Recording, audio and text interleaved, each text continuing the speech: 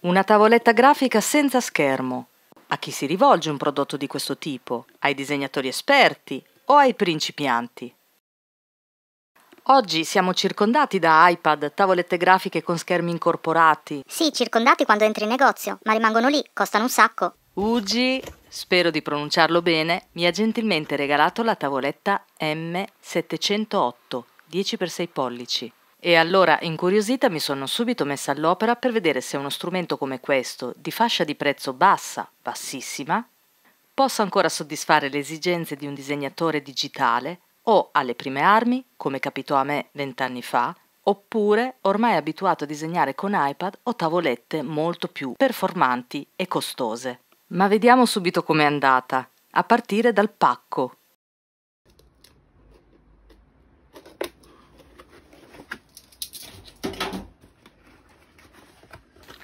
Eccola qua.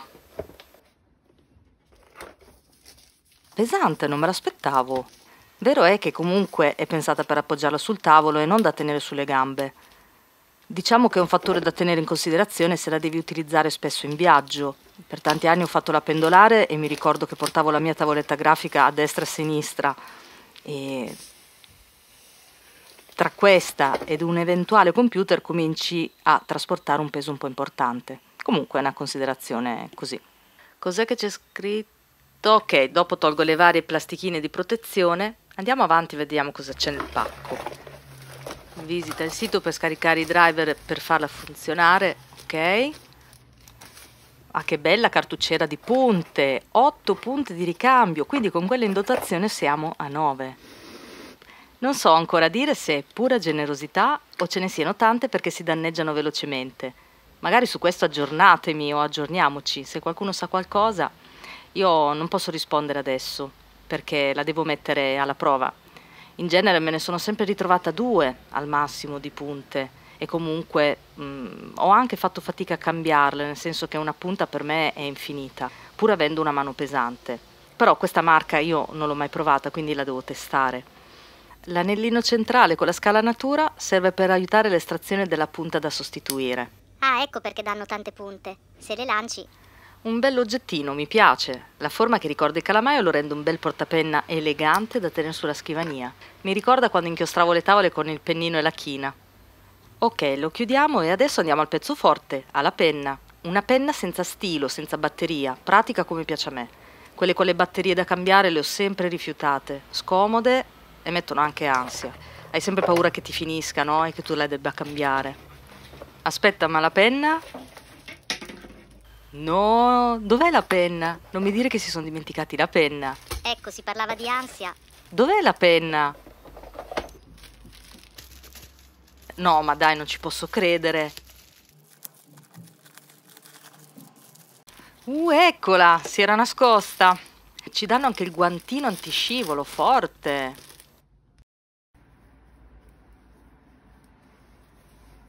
Perfetto. E ho anche le mani grandi. Adesso vediamo una penna che mi ha fatto in un coccolone. Leggera. L'impugnatura non è ergonomica, è a sezione cilindrica, ma mi sento già a mio agio. E poi lo ricordo, niente batterie stile al suo interno, quindi niente sbilanciamenti o pesantezza e non ha neanche bisogno di ricaricarsi, si interfaccia con la tavoletta per i fatti suoi da subito. Qui c'è il libretto di istruzioni, tra un po' vediamo l'installazione e la configurazione che sarà molto semplice e lineare, è il cavetto micro USB.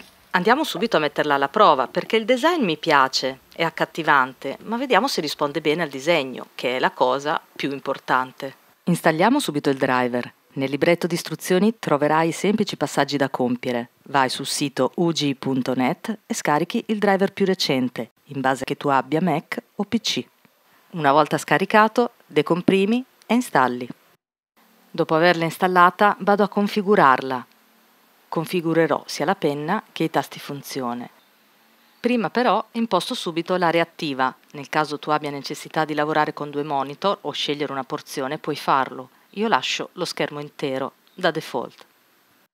Poi passo alla penna, ai tastini funzione. In realtà a me servirà solo il tasto destro per cambiare velocemente i pennelli. Ovviamente ognuno se li personalizza come meglio crede. L'idea è quella di velocizzare il lavoro. A me personalmente questi tasti danno sempre un po' fastidio. Finisco col prenderci contro per sbaglio, ma si possono anche disattivare. No problem. Poi, in base alla nostra manualità, possiamo impostare la pressione e la velocità di scorrimento su monitor. Più difficile a dirsi che farsi. Fai delle prove di scrittura o di segni e capirai subito come impostarla a seconda del tuo approccio al disegno o alla scrittura. Ok, adesso vado a personalizzare qualche tasto rapido, quei tasti che mi ritrovo sulla parte sinistra della tavoletta. A proposito, la tavoletta può essere girata di 180 gradi nel caso la utilizzino persone mancine. Ok, tornando alle funzioni tasti, qua inserirò i comandi che mi faranno più comodo. Imposto il software al quale fare riferimento, nel mio caso Photoshop, e mi programmo le scelte rapide che mi potranno servire mentre sarò intenta a lavorare. Sicuramente un bel Command Z, quindi un passo indietro. Proviamolo subito. E lo zoom. E così via. Sceglierai tu cosa ti farà più comodo.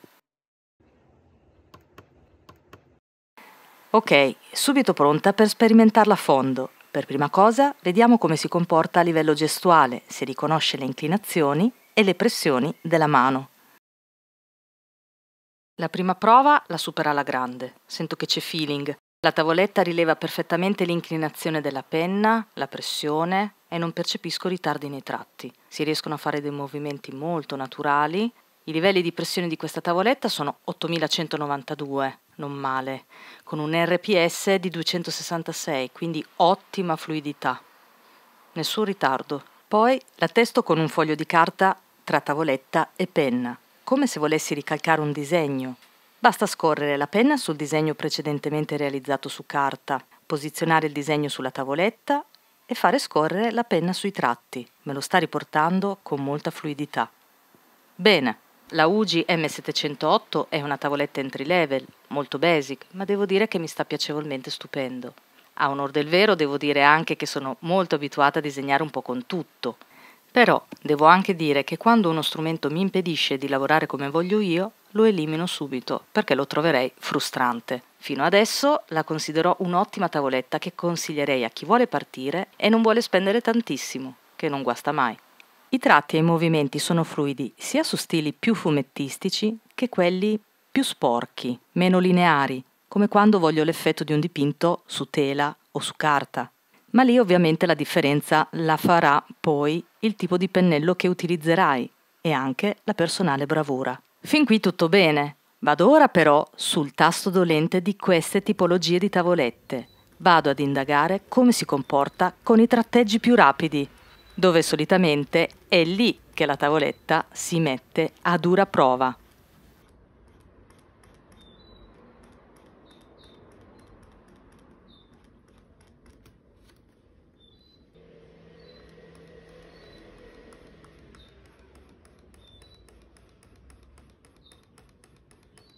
Fantastico! Tutto scorre una meraviglia e soprattutto nessun ritardo a monitor. O almeno è impercettibile, nessun fastidio, nessun rallentamento. Si disegna con scioltezza senza nessun tipo di stanchezza muscolare o rigidità della mano, data dal fatto che comunque si disegna su tavoletta e si guarda il monitor, quindi è un'esperienza meno diretta rispetto a disegnare su monitor. Se questa situazione tu non l'avessi mai provata, ti dico subito che ci si abitua dopo 5 minuti. Allora, a questo punto del video avrai già capito quale potrà essere il mio personale parere su questa tavoletta, la UGI M708, una tavoletta basic entry level.